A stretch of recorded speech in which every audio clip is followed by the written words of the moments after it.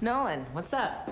I'm at Bailey's lieutenant's house, and I just stumbled upon a case of acetone, just like the kind our arsonist uses.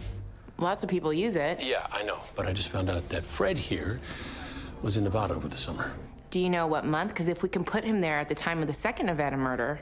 He didn't say. I can try and find out. Would that be enough to get a warrant? No, we're gonna need more. We'll need to do a deep dive on this guy, find something beyond circumstantial evidence. Okay. And what should I do? Do about what? Uh, I'll call you back. Hey there. I was, uh, just grabbing the ice. Do about what? Oh, nothing.